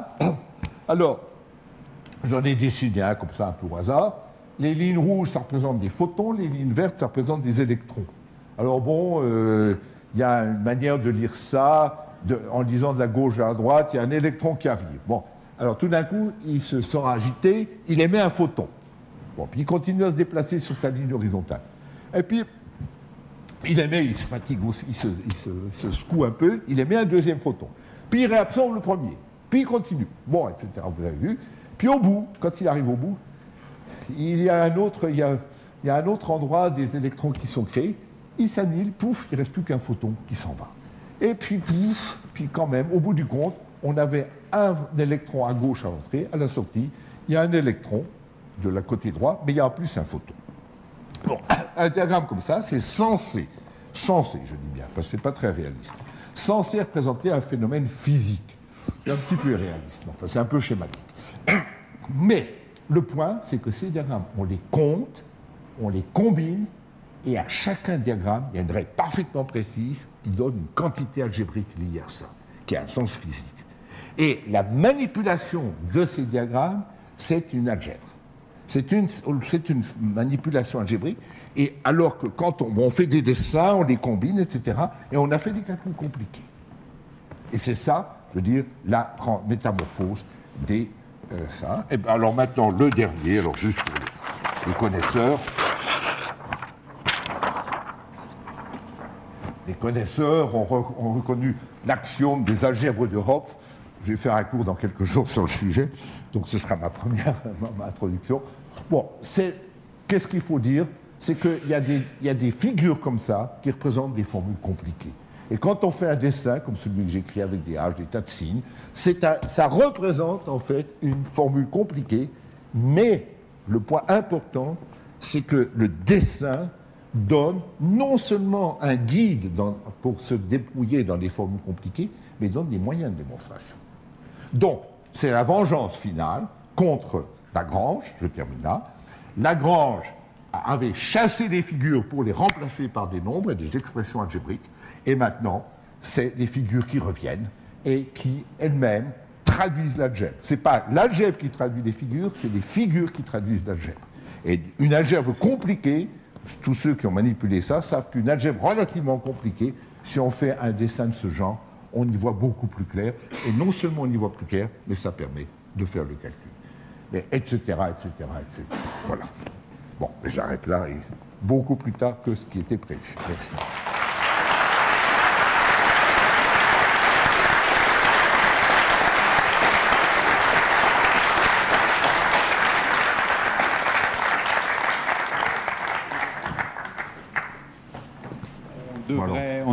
On a le temps. pour, Martin va diriger la discussion. la discussion, donc pour quelques, pour que, quelques questions. Est-ce qu'il y a des, des, volontaires pour des questions? Lagrange a écrit ses manuels en quelle langue? C'était bien Le, français, oui, pas, le latin, pas, tout ça. Puis j'avais vu passer arithmétique politique. J'avais vu, euh, vous aviez écrit euh, essai d'arithmétique politique. Oui, c'est exact. Il y a de la politique dans l'arithmétique? Bon. En fait, euh, il y a à la même époque, c'était une grande préoccupation. Il y a Condorcet, il y a Lagrange, et il y a euh, Laplace. Laplace, euh, qui a écrit le, essai philosophique sur les probabilités. Et un grand morceau de son essai, c'est application à ce qu'on appelait science morale à l'époque. D'ailleurs, il y a toujours une, académie des sciences morales et politiques.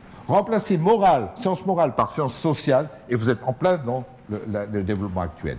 Ce sont des essais d'application de la combinatoire, du calcul des probabilités à divers problèmes. Bon, et ça occupait beaucoup les gens parce que dans le début du système démocratique, un des problèmes fondamentaux, qui n'est d'ailleurs pas totalement résolu, comment fait-on un système électoral aussi honnête que possible et dans lequel on ne puisse pas tricher? Personne n'a vraiment la réponse. Hein. Il, y a, beaucoup d'études faites sur les systèmes électoraux. Il n'y a pas vraiment. Enfin, il y a, des systèmes dont on s'accommode. Euh, et il y a des systèmes dont on ne s'accommode pas. Bon, moi, personnellement, je suis toujours un peu choqué euh, qu'on compte les blancs et les nuls ensemble dans une élection. Et comme je suis scrutateur très souvent, chaque fois qu'il y a une élection, bon, je suis discipliné, donc je, les compte séparés, je les compte ensemble, mais je suis toujours un peu choqué. Bon, il y a d'autres défauts des systèmes électoraux. Et euh, c'était une, préoccupation extrêmement importante des, mathématiciens de l'époque. Ça va avec le développement de la statistique comme outil politique outil de gestion, outil politique, outil social. D'autres questions là Est-ce que les, lycéens là posent des questions? Questions Est-ce que tu pourrais préciser peut-être les, la fin là? C'est des choses qui sont passées en mathématiques quand? Enfin, ou qui se passent quand? Enfin, si je réponds en partie à la question. Je dirais, bon, la toute fin, je dirais que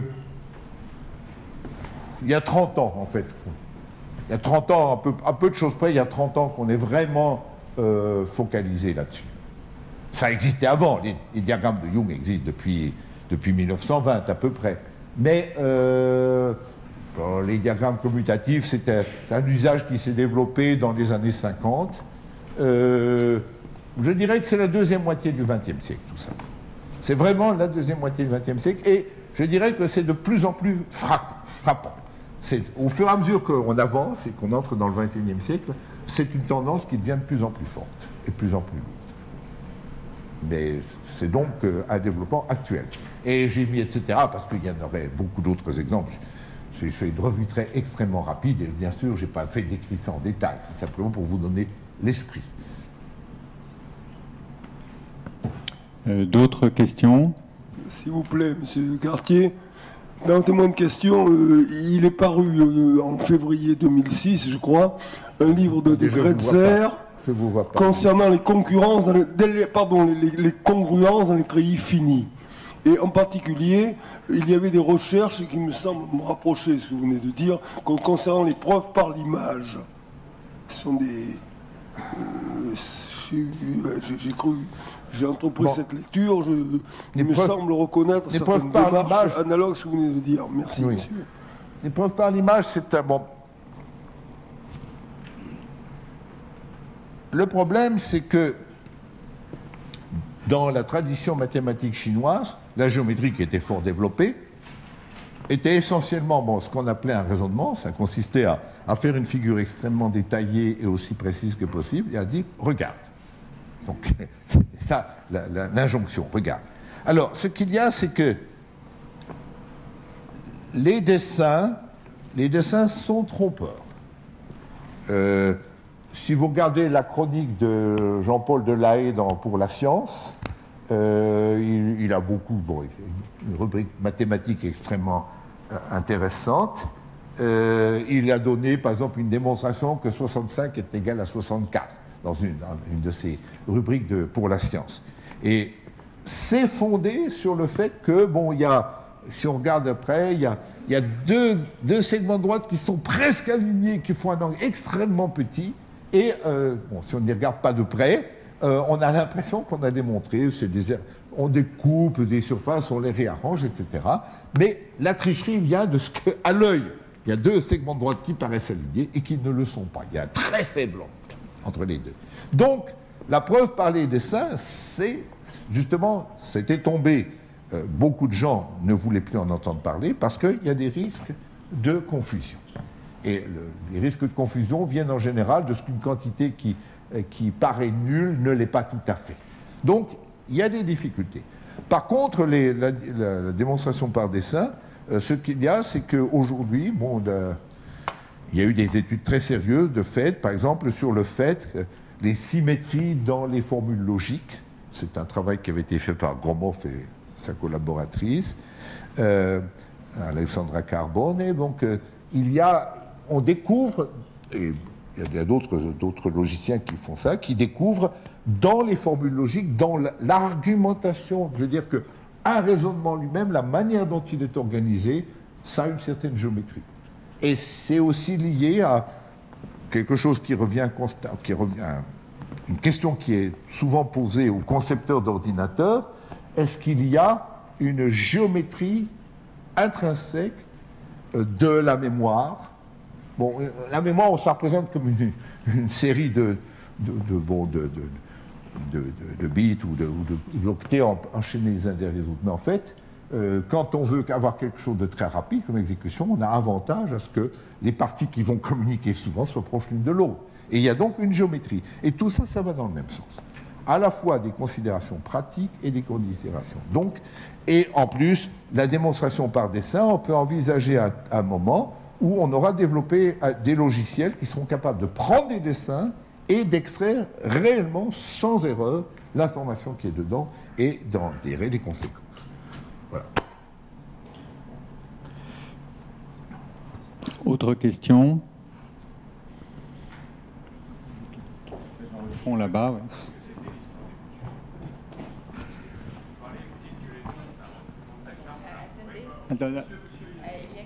Oui, est-ce que ça veut dire qu'il y a des choses, des raisonnements qu'on ne peut prouver que par, euh, que par des systèmes graphiques?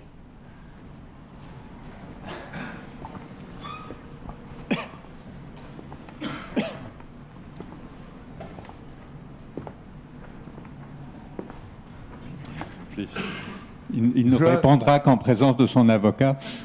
bon, je ne pense, bon, je ne pense pas. Bon, ça veut dire que ce que je voudrais dire simplement, c'est que la distance entre ce qui est une formule et ce qui est un dessin, la frontière entre ce qui est une formule et un dessin est assez floue.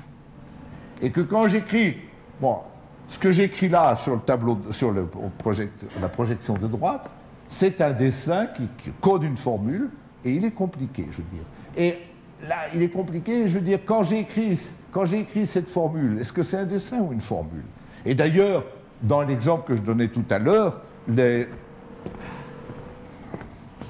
calcul tensoriel, calcul tensoriel, calcul tensoriel, si vous regardez de près, ceux qui sont familiers avec ce genre de calcul, savent qu'il est extrêmement important de savoir si l'indice, par exemple, mu nu, est-ce qu'il est, en dessous de la ligne, est-ce qu'il est en, indice, est-ce qu'il est en exposant, et vous avez des Bon, chacun sait que quand on a un calcul un peu compliqué, si vous avez une formule compliquée, il est avantageux d'avoir des tailles de parenthèses différentes.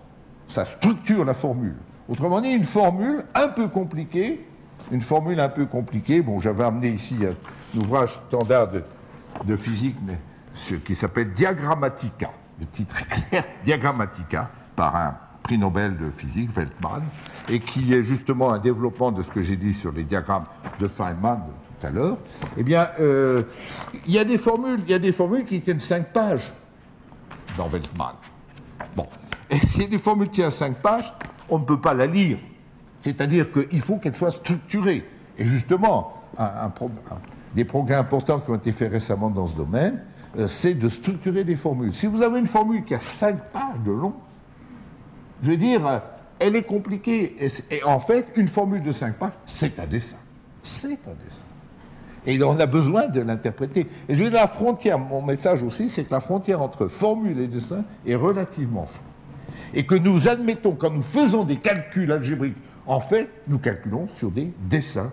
Nous calculons sur des dessins. Quand nous mettons x au carré, le 2 suivant qui il est au-dessus de la ligne, ça a un sens totalement différent que si on l'avait mis en dessous. Bon.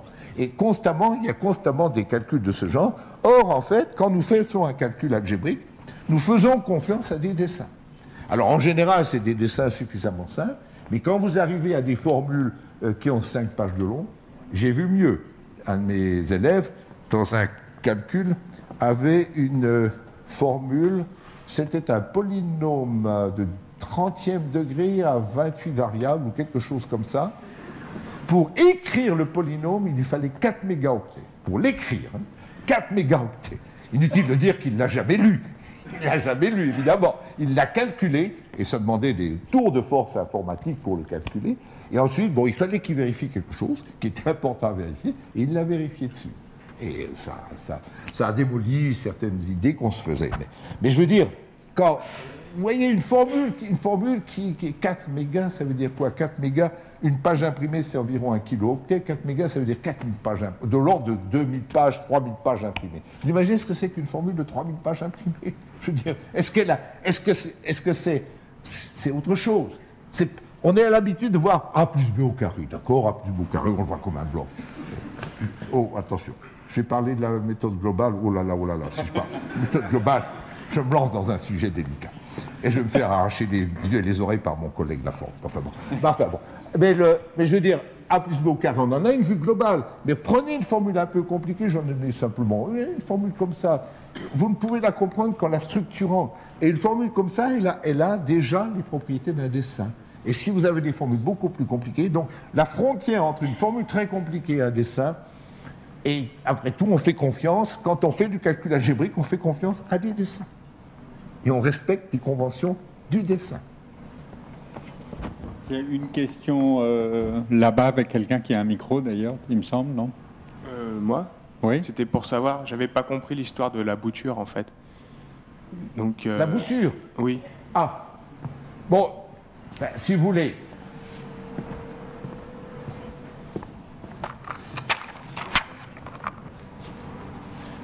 Bon, un arbre, un arbre, ça veut dire quoi? En fait, un arbre, c'est une série, on peut le voir comme une euh, représentant des choix successifs. Si vous descendez, bon, je les ai orientés vers le haut, mais si vous les représentez, d'aller dans l'autre sens, ça veut dire que vous descendez du haut, vous arrivez au rond-point, et vous vous dites, je choisis à droite ou à gauche. Bon, il faut, remonter le sens des flèches. Hein.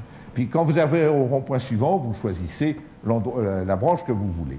Alors ce qu'il y a, c'est que si vous avez deux systèmes, bon, on peut appeler ça, c'est des ronds-points, euh, il y en a partout des ronds-points aujourd'hui, bon, ronds, c'est un système de ronds-points de sens unique. Bon, vous avez deux systèmes de ronds-points de sens unique. Vous pouvez les mettre ensemble, en faire une espèce de produit qui consiste, qui consiste, bon alors, euh, l'arbre complet, qu'est-ce que ça voudrait dire? Ça veut dire que je, ici, je devrais dessiner ce qui est là, je devrais le reporter ici et le dessiner en bas de ça. Et ça me ferait un arbre plus compliqué. C'est-à-dire qu'au lieu d'avoir trois ronds-points, j'en aurais maintenant quatre. Au lieu d'avoir en bas 1, 2, 3, 4, 5 possibilités en bas, euh, 5 flèches en bas, j'en aurais maintenant 1, 2, 3, 4, 5, 6, 7. Bon, c'est donc une opération. La, bouture, c'est une opération qui, choisissant deux arbres et une feuille, par convention, les feuilles de l'arbre, c'est.